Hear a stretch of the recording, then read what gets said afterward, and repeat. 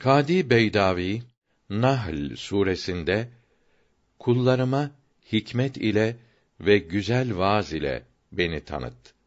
Mealindeki 125. ayet-i kerimeyi tefsir ederken anlayışlı, tahsilli olanlara fen bilgileriyle hislerine tabi olan cahil halka da görünenleri anlatmakla bildir demektir buyuruyor.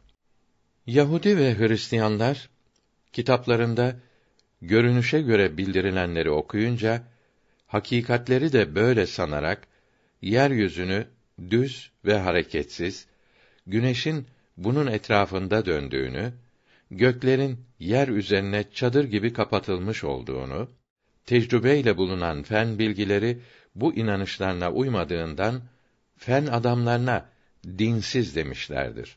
Fen adamları bu haksız hüküm karşısında Yahudiliğe ve Hristiyanlığa saldırmıştır.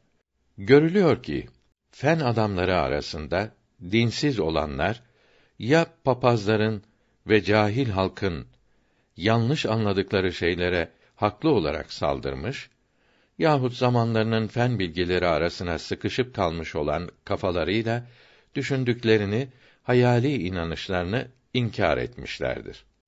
Eğer İslam alimlerinin Kur'an-ı Kerim'den çıkardıkları fenne bağlı bilgileri, bunların inceliğini, doğruluğunu okuyup anlasalardı, hepsi hakikati görüp seve seve Müslüman olurdu. Fahreddin Razi Enbiya suresi 33. ayetinin tefsirinde ayın, güneşin, yıldızların felekte yani mihverleri ve yörüngeleri, mahrekleri etrafında döndüklerini Dahhak ve Kelbi'nin söylediğini yazmaktadır.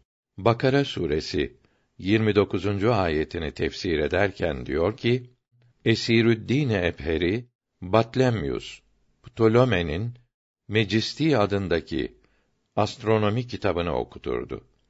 Bunu okutmasını hoş görmeyen biri Müslüman çocuklarına böyle ne okutuyorsun diye sorunca meali şerifi yerleri, gökleri, yıldızları, bitkileri ne güzel yarattığımızı görmüyorlar mı olan Kaf suresinin altıncı ayetini tefsir ediyorum diyerek cevap vermiştir.